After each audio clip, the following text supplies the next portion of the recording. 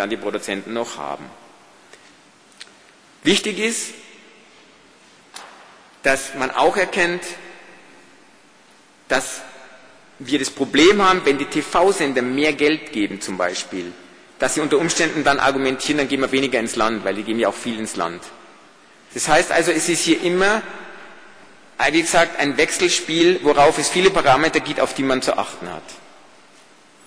Bei DVD geht es in grunde Linie darum, dass wir aufgrund der Masse der Filme, der Titel, die rauskommen, sagt, und weil man die Werbeplattform Kino benutzen, man will immer näher ans Kino ran. Es ist zwar sicherlich richtig zu sagen, vom ROI her, möglichst alles zusammen, dass ich möglichst mein Geld so schnell zurück habe. Wenn man aber die Folgen dann dagegen setzt, dann sieht man, dass das meines Erachtens nicht der richtige Weg ist, wie auch Studien bereits belegen. Und wir vom Kino, wir brauchen ganz klar einen Paradigmenwechsel. Ich sage das Wort deswegen so gern, weil es relativ hart ist, aber am Schluss wird es ja auch so hart werden, wenn es am Schluss darum geht, ist mehr Geld da, redet sich leichter, ist weniger Geld da, wird es schwieriger. Die Waffengleichheit ist für mich eine der wesentlichen Positionen für dieses Mal. Hat mit dem FFG alleine nichts zu tun, wird aber im Endeffekt vielleicht sogar bedeuten, dass China sagt, nee, wir zahlen gar nichts mehr. Wir brauchen unser Geld die nächsten fünf bis sechs Jahre selber, wenn uns keiner hilft.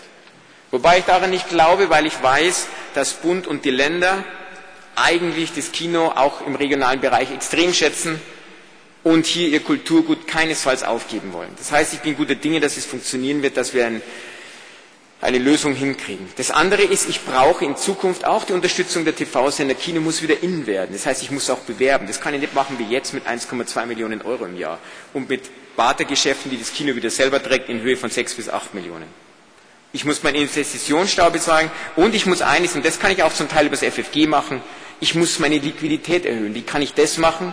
Indem ich bestehende Darlehen zum Beispiel teilweise erlasse, indem ich bei Anträgen in Zukunft einen Teil verlorenen Zuschuss nehme und einen Teildarlehen mache.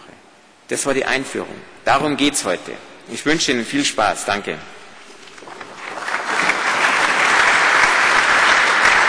Ja, dann, dann bitte ich den Thomas Nägele gleich zu mir, hier Platz zu nehmen.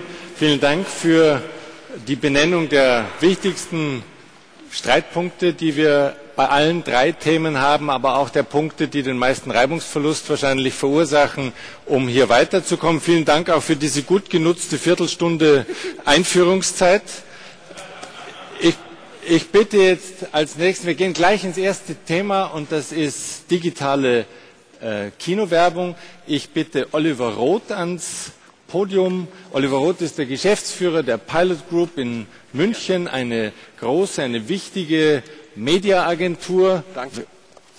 Werbeagentur, die, das hat er mir im Vorgespräch gesagt, nicht etwa irgendwelche Budgets verteilt, sondern dort wird gewissenhaft geplant, was denn die richtigen äh, Bereiche sind, in denen die Werbespendings dann schließlich landen. Und er wird uns vielleicht jetzt auch sagen, ob das, was Thomas Nägeler auch eingangs seines Vortrags schon mal klargemacht hat, die Talsohle sei erreicht, ob sie denn erreicht ist bei der Kinowerbung.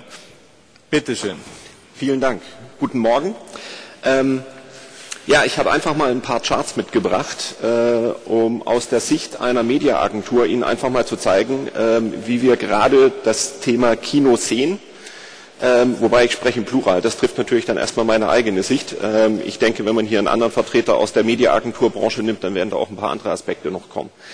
Ähm, ja, ähm, es werden an der einen oder anderen Stelle sind sicherlich äh, auch mit Absicht, oh vielen Dank, zwei, drei provokantere Thesen dabei, äh, bei denen allerdings deutlich mehr Wahrheit dahinter steckt, als man dann vielleicht auch gerne mal niederbügeln möchte.